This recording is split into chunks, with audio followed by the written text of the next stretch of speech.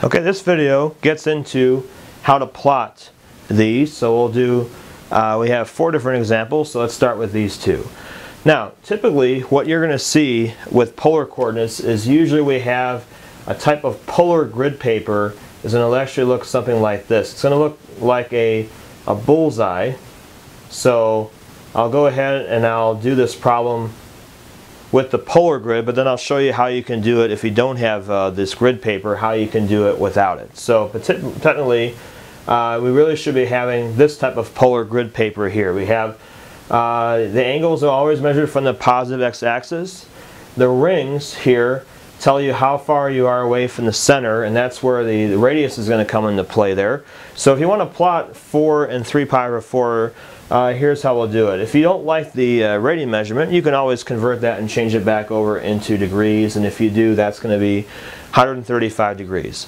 So we're going to first draw 135 degrees. Now that's going to be, that angle's between 90 and 180, which means that it's going to be about right here. So what I'll do is I'm just going to go ahead and draw this line. So it means that this part measured from here, here to here would be 135. Then what you do is you just count the rings, whatever the radius is. The radius is 4, so I do one, two, three, four rings.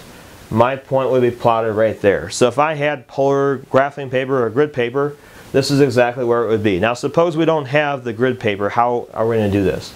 Okay, so what you do is you're going to you start the angle here at the origin. 135 would be in the second quadrant, so we would go, start out by drawing a line here, and I would label that 135 degrees or 3 pi over 4. And then to get the 4 there, all I'm going to do is I'm going to count 4 on that line and I would, I would plot it right there. So it still ends up in the same spot, it ends up in the second quadrant right there. It's just that instead of using the, uh, the grid paper here on this, the polar grid system, I'm basically just graphing it out like this. So this is how you would do it without that. So let's do the same thing down here. We'll do it without the, the grid. So again, when you do, we draw that, and 5 pi over 3, again, if you don't like radians, you can convert it over into degrees. That would be 300 degrees by using the formula, the 180 over pi formula would convert it to 300. So that means that you have something that's drawn down here in the fourth quadrant.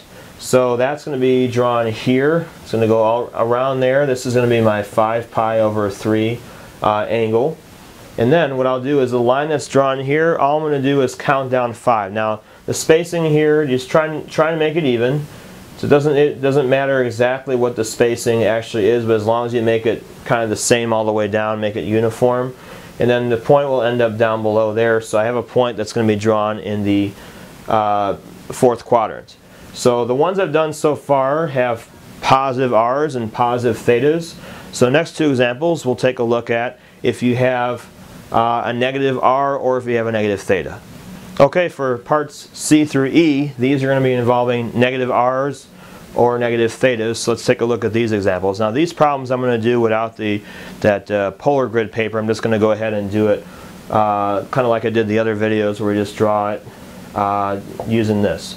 Okay, so we have negative 3 and 120 degrees. Now, if you have a negative r, what I like to do here for this is I'm going to draw a dotted line because that means I have to do something different. It reminds me I need to do something different there. So at 120, I'm going to go ahead and draw in the 120 angle, which should be right here. But notice that I'm actually using a dotted line instead of a solid line. That's because when you have a negative r, what you have to do is you're going to reverse that exactly 180 degrees in the other direction. So I normally I would go here and I would count my three, I would uh, go along that line. However here, I'm reversing it exactly 180 degrees in the other direction.